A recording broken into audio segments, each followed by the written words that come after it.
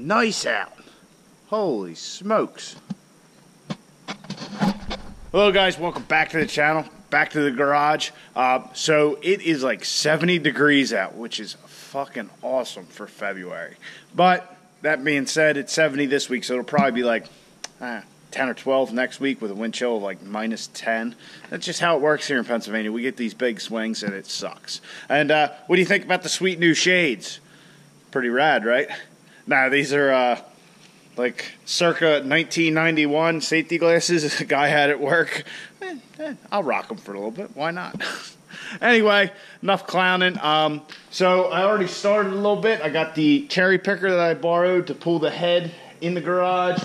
I have Caitlin sitting down on some blocks of wood with the um, brakes just off the concrete to make it a little lower, a little easier to work on and get everything because I don't have one of those uh, fancy upside creeper things. Um, usually I just stand on a cooler or something. But we should be able to get to majority of everything just standing now like this. So if you didn't catch yesterday's video, we got the turbo out. We got the turbo out, the well, everything except for the exhaust housing, that is. We got the oil drain disconnected, the oil feed, the coolant pipe here, um, got the center section of the turbo out, all that kind of good stuff, all the intake stuff. So tonight we're going to start off with taking off that turbo exhaust housing. Then we'll move over here, get this intake manifold off. Um, usually I like to try and pull the valve cover off as it makes it easier to get to some of the injection lines. So we'll, we'll pull this off, pull the uh, valve cover and all off, and just slowly work our way down to the head bolts. So we will be pulling the injectors tonight. This top radiator hose will come out. Just our fuel rail, all that kind of stuff. I got the table set up with some cardboard on it. We're just ready to hit the ground running here. So that's enough jibber jabbering. Let's get started. Oh, oh, I did talk to the race truck is done. John said the truck, well, what am I doing? My fancy sunglasses. The race truck is done. Um, John said he is happy with it. He says the, the trans feels great. Everything feels how it should, so we can pick that up whenever we, we want, but we're in the middle of doing this, so we're not going to get that right yet. Um, uh, what else was there? There was something else. Oh, I talked to the machine shop. They said depending on what we do with the head, whether we just get it cracked, chacked, decked, you know, all that, or if we go ahead and get it O-ringed, you know, will depend on how long it's out. So it could be between a week to two weeks, something like that. All right, so let's get started. Get all this stuff off, get that head out.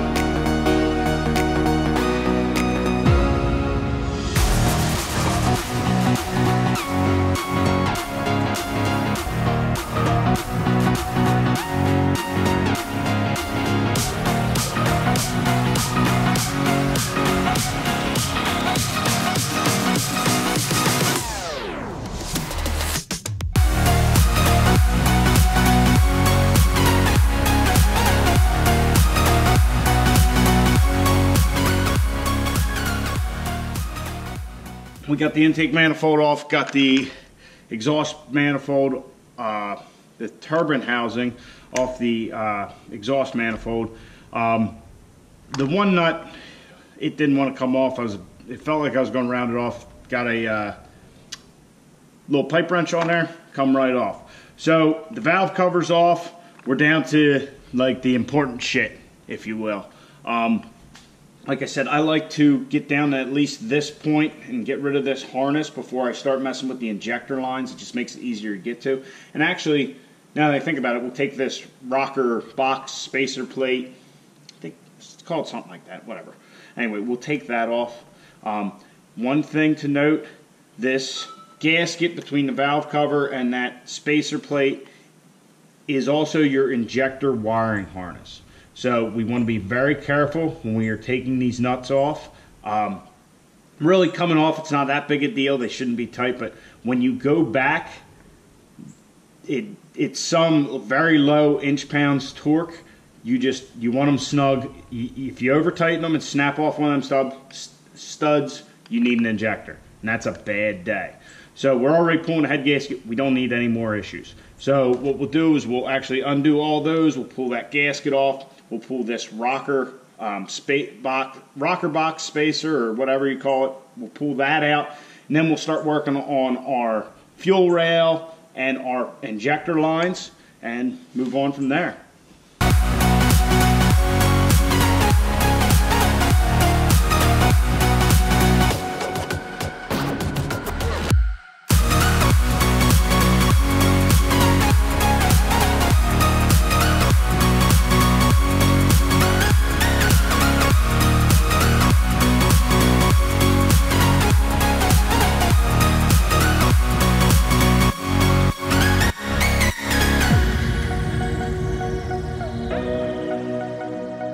The GoPro died, I'm not sure where. We haven't really gotten that far.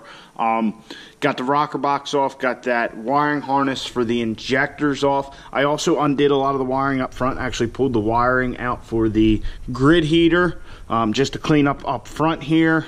Um, what else did I undo? I undid the uh, dipstick tube, kind of got undid this major harness here. Um, it's up down here. So just kind of got everything out of the way a little bit so we can work. Uh, right now, it really probably doesn't matter where we start, um, whether we go after the rockers or we go after the injector lines. I'm going to go after the injection lines just because we have the rockers and all in the way and just protect the, the injectors a little bit. Um, really with these lines, you just want to crack one side and then crack the other and you know get rid of number one, get rid of number two, so on and so forth. And the back ones are the pain in the ass, as is with everything on this. All the stuff up here, one, two, three, four, even that's easy. That's cake. Um, then we'll get to taking our rockers out, our push rods, our valve bridges, and then the injectors. So that's kind of a little update of where we're at. We're making pretty good time. It's just starting to get dark, or well, it's pretty dark, but we're uh, we're looking good so far. I probably shouldn't have just said that because I probably just jinxed myself. But it is what it is. Let's keep moving.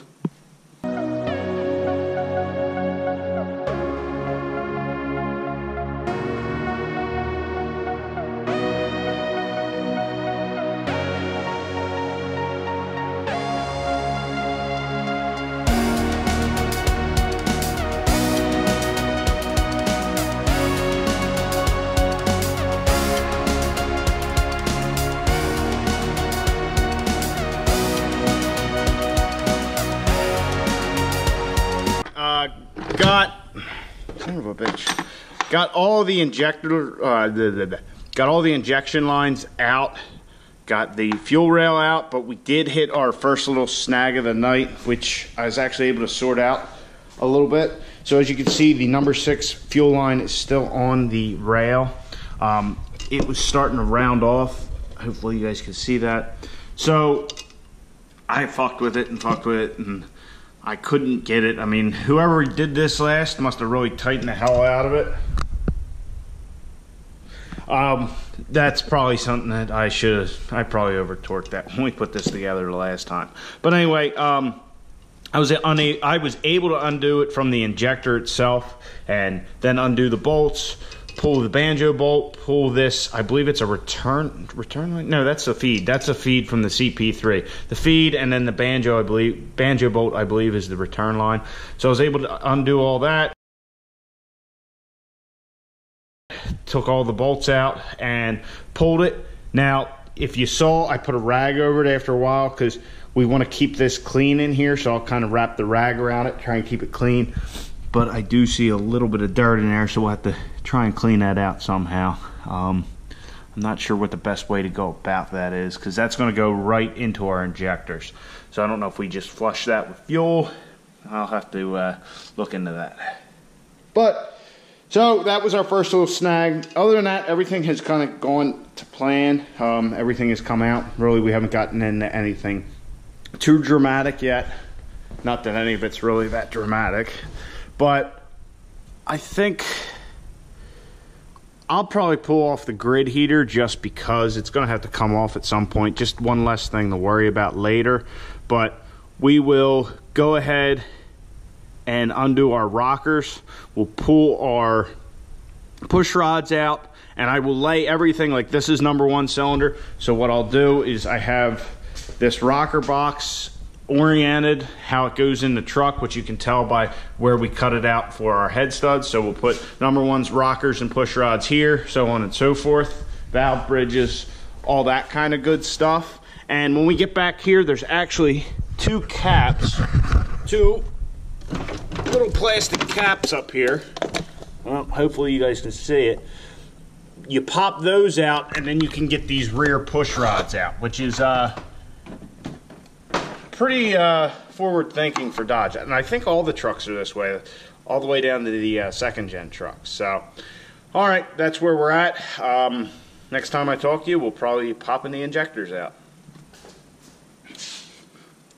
when you're pulling these, you can usually pull them as an assembly. See, we've got our valve bridges. We're sticking a little do the. old. We just want to make sure, wrong side. Make sure that this cup does not fall off. We don't want to lose that.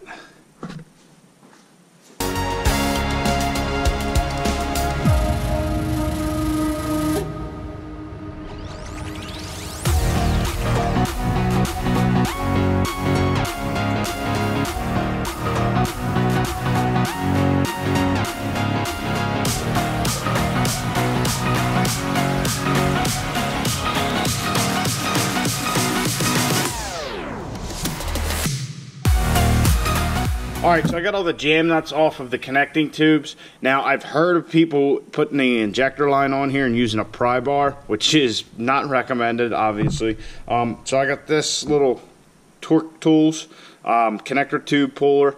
Uh, it's like, I want to say it's 13, 15 bucks or something. Really, it just screws on here and it should pop them out. If one is extra tight, you can use a pair of channel locks, but you'll hear a pop. Oh, never mind, you'll just feel it. So there's one. Oh. Two.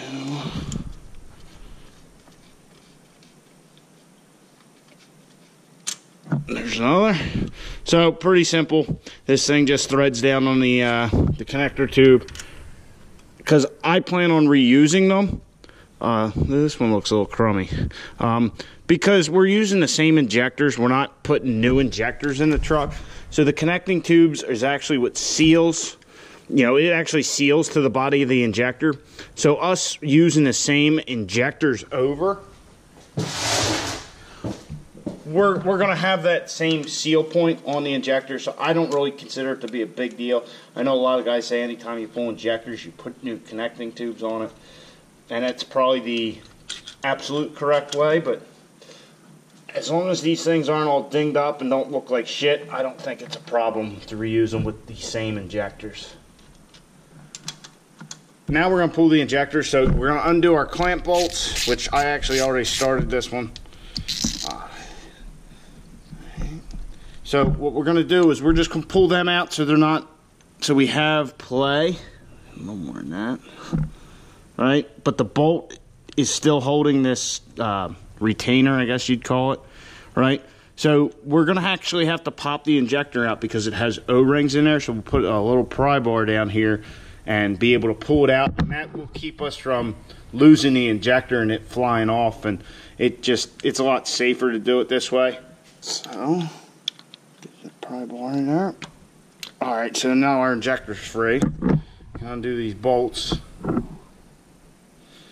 and I, I, I, guess I do that just a little, just to be cautious. I mean, just I don't want to throw the injector off the side of the truck or something if it's really stuck in there. So there's our injector.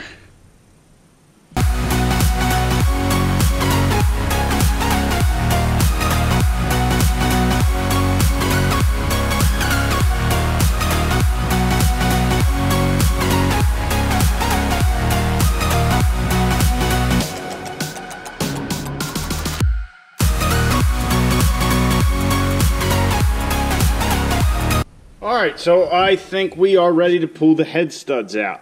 Um, rather than just zipping off the front ones with the gun, I'm going to do them by hand just so I can feel how tight they are. Um, just to see, hey, maybe maybe something didn't get torqued. Maybe I missed something when we put the studs in. Um, really, I think it's because I had those big 200% over injectors in it without a proper tune, like a an idiot. Um, I do know better, and for whatever reason, I just slapped them in here before I could get a new tune from Ryan and ran it. Um, back, shit, it's been over a year now. But anyway, I think that's what started this whole mess. Um, so I'm just going to go through, and I think I'll probably just start in the center. Um, I'll probably just start here and probably work my way out, like you know, like your normal torque sequence. Um, I can't really tell you why. I just think that's what I'm going to do. Oh, I do need to unhook that coolant line, too. Prepare ship for light speed. No, no, no. Light speed is too slow. Light speed too slow. Yes, we're gonna have to go right to ludicrous speed. Ludicrous speed. Sir, we've never gone that fast before. I don't know if the ship can take it. What's the matter, Colonel Sandurz? Chicken? Prepare ship. Prepare ship for ludicrous speed.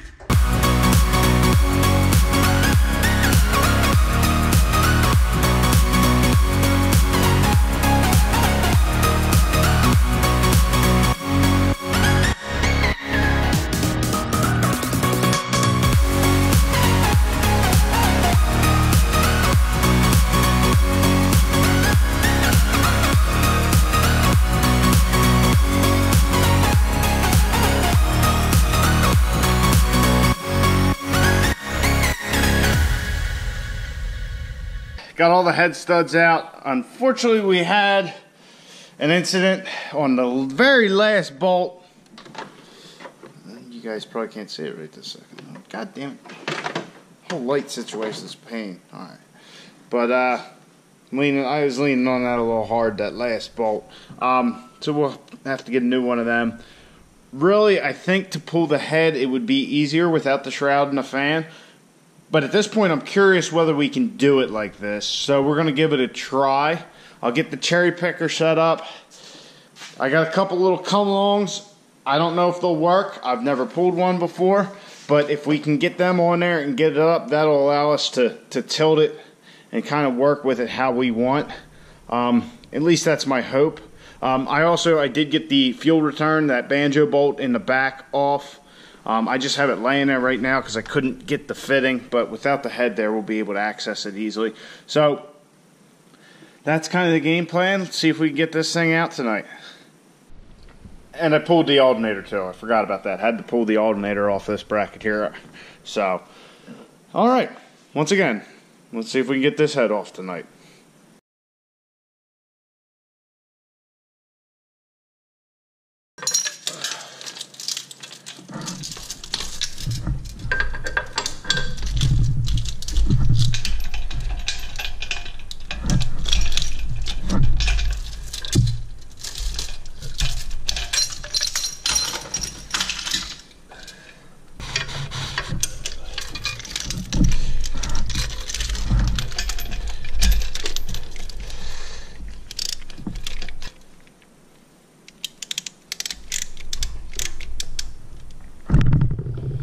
All right, here goes nothing.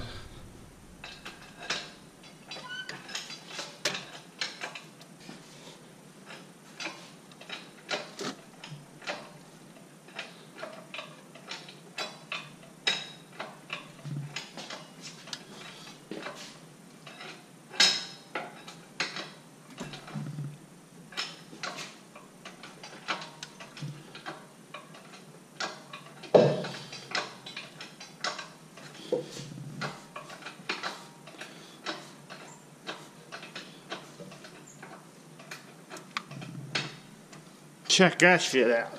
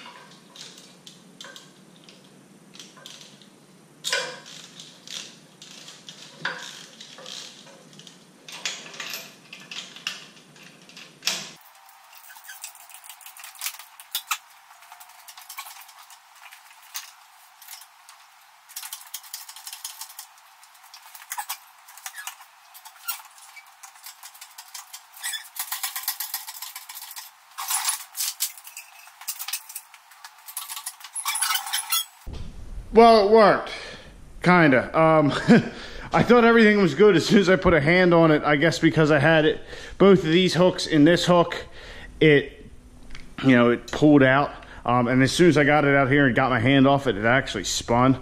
So we actually locked out. Um, hate, I hate working like that, but um, we definitely have to replace this now, but we're planning on doing that anyhow. So I guess it's, uh, I'm just glad we got it out and that could have been very bad, but I'm, uh,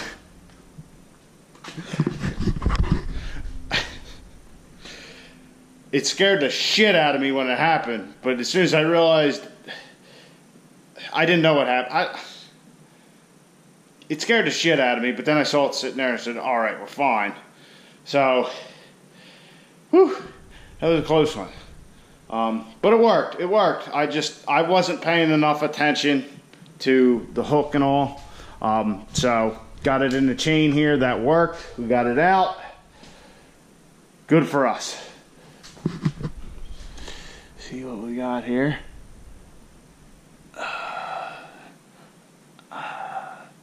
I guess everything looks fine. I don't, I don't, I don't know what the fuck I'm looking at. The hell. All right. Well, I'm gonna set this down. We'll take a look underneath, and then we'll prop the head up and look at it good.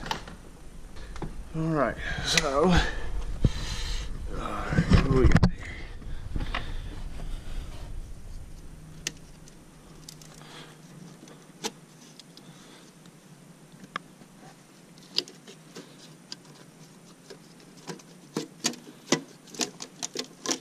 Everything looks fine. Ooh, look at our pistons. Let's see, let's check this gasket out.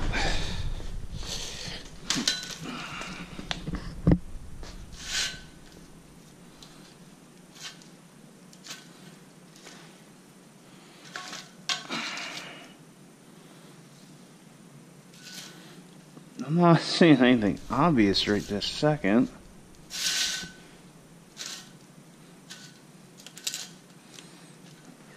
But some rust in there.